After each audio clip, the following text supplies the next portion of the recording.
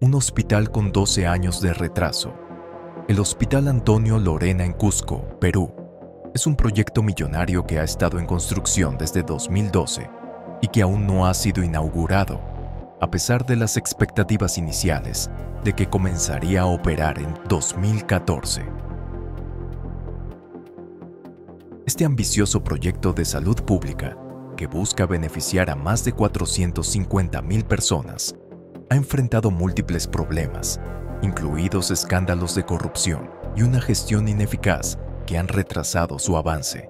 A lo largo de estos años, se han invertido más de 900 millones de soles en su desarrollo, pero las obras permanecen inconclusas debido a deficiencias en la ejecución y promesas incumplidas por parte de los contratistas.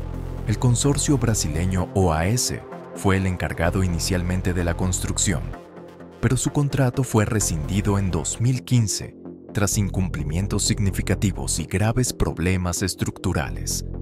Desde entonces, el proyecto ha estado marcado por intentos fallidos de reactivación y nuevas adjudicaciones.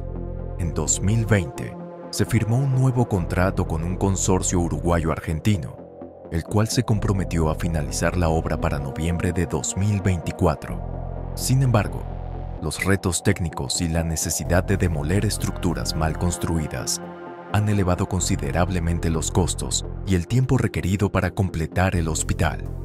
La razón principal detrás de estos prolongados retrasos ha sido la corrupción, que ha salpicado a figuras políticas clave, incluyendo al expresidente regional Jorge Acurio Tito y a la ex primera dama Nadine Heredia.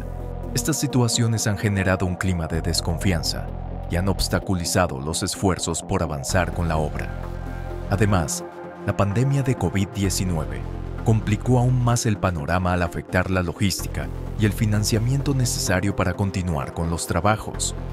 A pesar de las dificultades, las autoridades peruanas han reiterado su compromiso con la finalización del hospital Antonio Lorena.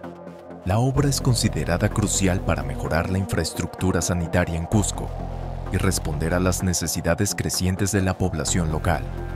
Con una inversión proyectada que supera los 900 millones de soles, se espera que este hospital cuente con más de 300 camas y diversas instalaciones médicas necesarias para ofrecer atención adecuada a los ciudadanos. ¿Qué opinas?